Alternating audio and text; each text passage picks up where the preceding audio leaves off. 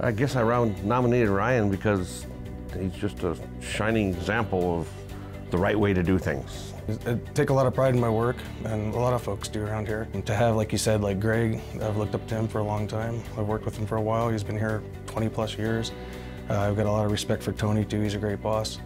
Um, and it, it, just feels really good. And like I said, it's, it's humbling to have folks like that that's got so much, you know, experience and uh, dedication and commitment to doing a good job to, to recognize the work that I do. He's constantly coming up with new um, solutions for chronic problems, right? I mean, for, for stuff that uh, we battle with daily, you know.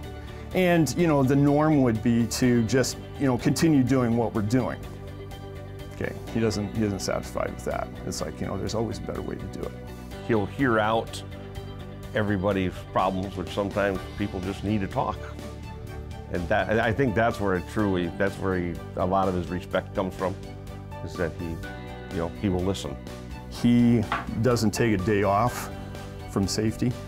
The SOS program, See It, Own It, Solve It, it's a site program here that we have, you know, that we have here. Um, it's, people see something that's going on, it's not quite right, they stop the individual, they see that, they talk about it. Um, you know, they basically come up with a solution. I, I, try to do things the right way. It's all the little things that add up and matter. Um, it's coming to work, showing up, being safe, looking out for everybody else's safety.